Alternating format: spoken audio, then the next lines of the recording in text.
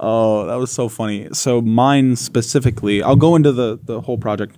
It was more of like unnecessary dramatization of like something so mundane and boring. Um, like Liam Neeson jumping over a fence, um, or in our case, my case, it was microwaving a granola bar.